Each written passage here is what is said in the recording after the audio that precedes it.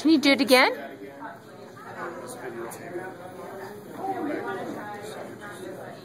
My kids seeing what. Good job, Dean.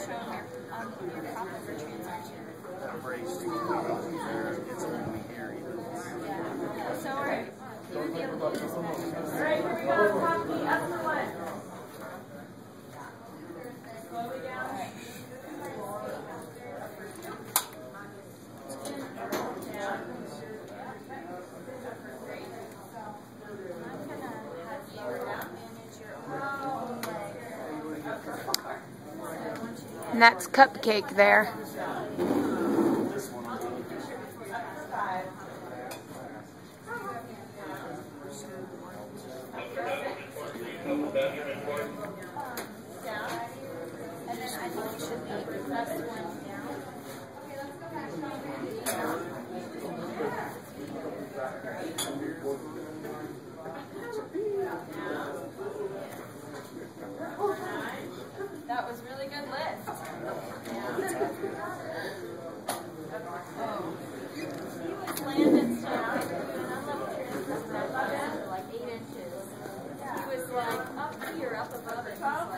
You did that.